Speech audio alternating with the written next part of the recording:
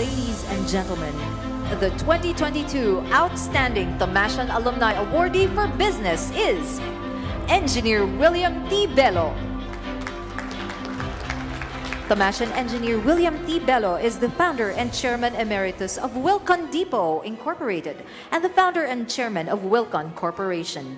He is an ordinary but focused man with a strong desire to be of service to Filipino homeowners.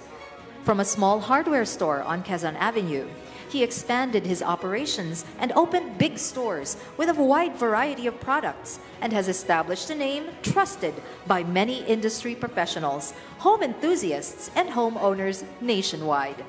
Besides his commitment to the construction industry, Engineer Belo remains compassionate with those in need through his socio-civic institution called Wilcon Foundation.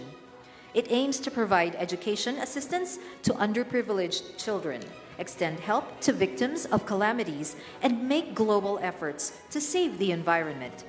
In 1988, he ventured out to integrated poultry, piggery, and crocodile farms. Engineer Belo also dedicated himself to the conservation of crocodiles in the country and served as the treasurer of Crocodylus Porosus Philippines Incorporated until today. His influence and competence across industries has earned him the Grand MVP Bossing Award and the Philippine Retailers Association's President's Outstanding Filipino Retailer Award. Engineer William T. Belo, thank you so much and congratulations.